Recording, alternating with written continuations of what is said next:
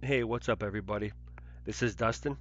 Welcome back to another episode of Bushwhacking History in Buffalo.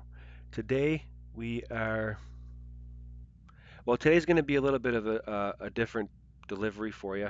I'm going to uh, present to you uh, a montage of pics that I had culminated in one day where I started down here at uh, the foot of Porter, okay, at the at the Porter pumping station, and went uh, north, culminated at the Niagara Falls, okay.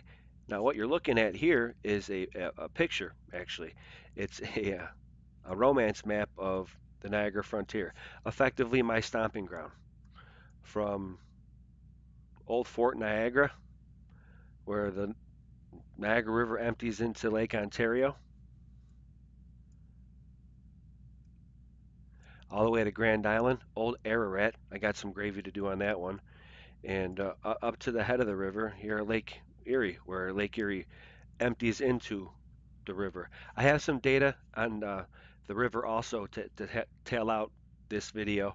So what I'm going to do is play for you a montage effectively of um, all the, I kind of spot checked my area, uh, did some videos and just showed to you, uh, or I'm going to show to you that uh, this is kind of a, the breadth of uh, the area that I have to cover. And I got a lot more stuff to do, a lot more work to do, uh, a lot more boots on the ground. Also, as I was looking at this, if you draw your attention up here to top left and let's zoom in, top left excerpt says um,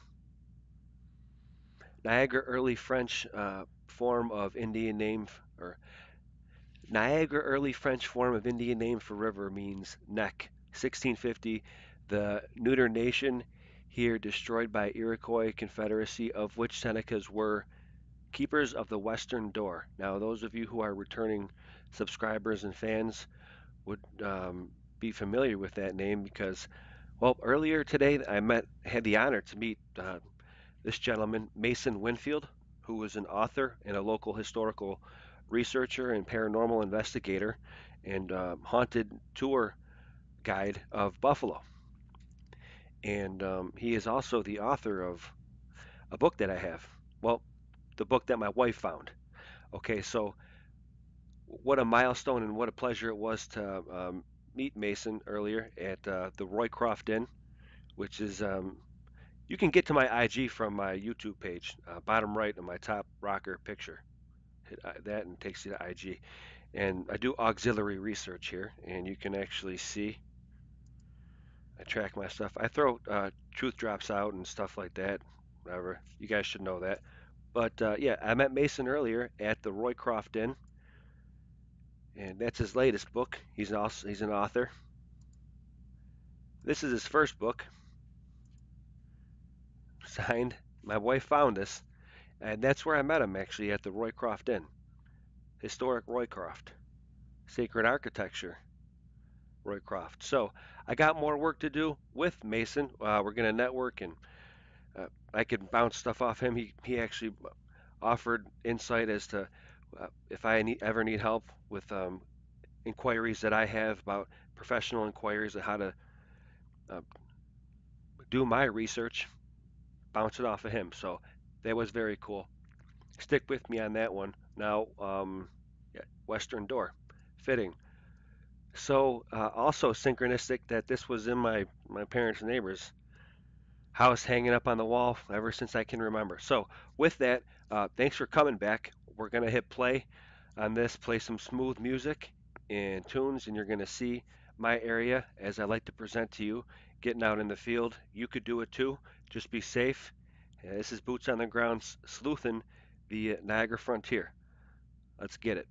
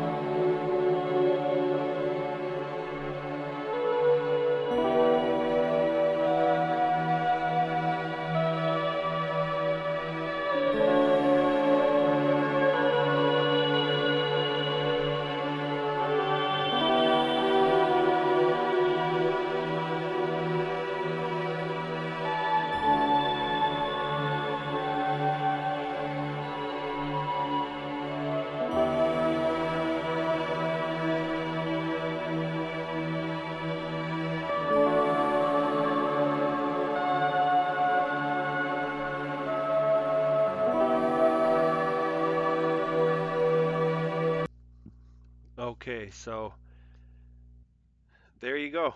That was, um, you know, like I said, if nothing else, that is to um, let you know that I got a, I can cover a lot of Terra as far as uh, with my research and what I have to do within um, within this uh, within this area, the Western Door.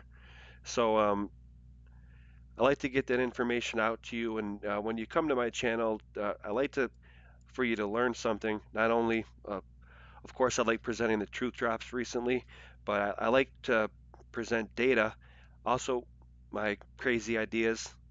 But uh, I like you to learn something, and is we'll do some uh, information and some I laid ladle some gravy on the, what is the Niagara River and fitting with uh, you know I kind of sleuthed the uh, and skirted the Niagara River in that little uh, presentation for you, starting down here, working my way up to uh, Grand Island, then into Tonawanda, as you've seen, and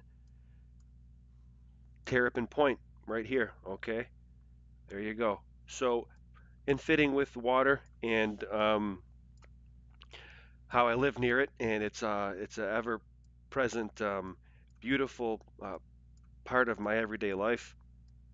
Being able to walk by here, Niagara River has, well, I think it's underrated in a sense that it's in its own class. Now we're gonna get, well, I'll track back to that, but another aspect of Buffalo is we do have a sunset over the water because of the, the corridor of Lake Erie. I've presented that before. Also, short of Lake Ontario, the entire Great Lake Basin from Superior, as uh, Gordon Lightfoot says in um, that great song, The Wreck of the Edmund Fitzgerald, from the Chippewa on down to the big lake they call Gitche Gumee, which is Lake Superior, all of the runoff that happens in this basin gets funneled right down through the Niagara River right here. And um, it's in its own class in that, so it's 36 miles long and it drops 333 feet in elevation. Now, when I say it's in its own class and it's kind of underrated, I've never heard it in my, you know, watching History Channel, Discovery Channel. I've never heard it detail. I've actually um, understood this for myself. It's in its own class of cataract. Now, it's a cataract in the in the sense that it's it uh, goes lower in elevation, and it's there's also a, a pretty fierce cataract within it. So it's 36 miles in length. That means that it's under 50 miles in length, but it's over 200,000 cubic flow of um, liquid flow or cubic flow rate, if you will. And I've always found that interesting that it never gets identified. It's got an enormous current in the pinch points of the head up here underneath Peace Bridge and down in the lower Niagara from the falls to where it empties into Lake Ontario. It's, I think, one of the fastest moving currents in North America for its uh, short length. So again, it's under 40 miles in length, but it has an over 200,000 uh, cubic flow rate. That's unheard of. That's unbelievably fascinating to me. Not only that, all of the Great Lakes Basin, uh, again, not from Lake Ontario because that's what it drains into, but everything else drains right through here. And there's a little interesting side tidbit here local gravy. The dough rises in our uh, pizza a lot more than other places because of the minerals in our water, allegedly. And we're gonna, I'm gonna show some clips of what I've showed before but about our buffalo intake that I uh, showcased in the beginning of that montage at the foot of Porter. So let's get into that. And again, we're to tail out with a, a fitting water truth drop. So, but right now we're to showcase the Emerald Channel and where we get our water from. And it's got a lot of minerals in it. And is that minerals, is the minerals in the water charging our benevolent city? Could it be? let's watch this.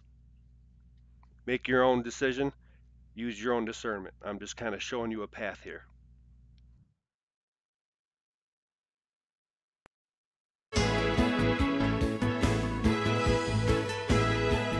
The intake is a facility which takes in all the fresh water into the city of Buffalo. Comes through, through that structure. It's a three-story structure. Actually, was a manned facility back in the day. The reason for this is there was ice accumulation along the, the perimeter of the structure, and this had to be removed. And this occurred until probably the 50s when the ice boom was installed. You go in, it has a center well where all the fresh water comes into, settles, very quiescent. In fact, that location where the intake is now currently is called the Emerald Channel.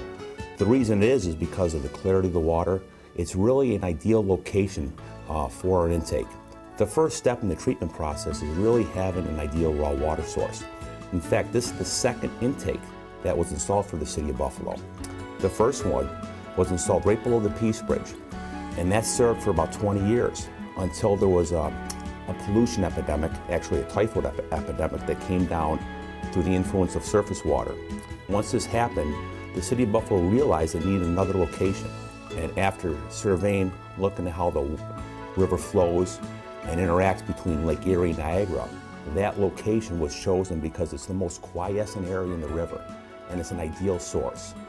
So once you go out there, it's actually called that Emerald Channel because the water has an emerald look to it. You can see that not only outside the facility, but also inside in that center well. Also, that served about 150 million gallons per day into the city of Buffalo. We're about half that now, but still all the water that goes into the city comes through that structure. When you look at the, uh, at the intake, there are eight gates on the perimeter, and that allows the water from, the, from Lake Erie to come into that center well. And there's an open water reservoir in the center of that intake. That water then, which is very quiescent, enters into a center shaft. There's four gates that allows that. That center shaft goes down 50 feet into bedrock. It's a 12 foot diameter shaft, and then it meets a 12 foot or 12 by 12 tunnel 50 feet below the lake bed, and that has been tunneled, mined under Lake Erie, and it goes from the intake structure all the way to Colonel Ward, which is about a mile offshore. At that point, the tunnel comes back up vertically. The water then enters our treatment plant it is pumped one more time, lifted about 20 feet, and it goes through our process of treatment by gravity. So really, it goes from the lake through the intake tunnel, through 12 by 12 concrete tunnel underground into our plant, and it's only lifted one time, 20 feet, and then by gravity again. And then it's pumped one more time and pressurized, and that's what you see at the tap. A little So there it is. I've um, rode a boat by that place many a times, and uh, I fished around that many a times, uh, not knowing the significance of that place and uh, the Emerald Channel. Now, it's emerald color because um, the minerals in it, and uh, again, um, Buffalo is known to have uh, the dough that rises in our, our, our pizza. And uh, that's because of local is uh, the uh, local down low on that is because of the minerals in our water and it rises. Now is that something that is like effervescent with the um, could, it, could, that even happen and affect the human body? Uh, these are the kind of ideas that I like to put out with this stuff and uh, I'd like to cite a uh, experiment done by Dr. Emoto where he does research on the crystallization of icicles and uh, human thought and how it could be projected or maybe like a, even like a telekinesis where people were thinking of benevolent things as ice was uh, starting to freeze and uh, if you're thinking good thoughts and benevolent thoughts there were there was good crystals and if there was negative thoughts and malevolent thoughts the crystals didn't even form now i'd just like to cite that something to think about and uh, water holds the memory there's a lot of stuff about that in, in media, truth drops in media. So, um, if nothing else, I'm not, this one I'm not making any claims, uh, just saying that uh, could it be? And uh, why does the dough rise in Buffalo a lot more than other places? And we now we, we don't just have good chicken wings, we got the best pizza. So I'll plant my flag on that, Buffalo. A lot more work to do. I hope you like that one. Please come back and uh, let's end it with a, uh, a, a funny one. So uh, with that, watch your six, keep it sleuthing, and I'll report back. We're going to close out after this one. Take care and be safe, everybody. Thanks a lot. You must be Carol Merrill. Don't spill any water. this is crazy. Keep your thought as pure as the water. Yeah, this water ain't really that pure. Neither are you. I give you this advice. Stay on the path. you got it. I'm so afraid of the dark, too.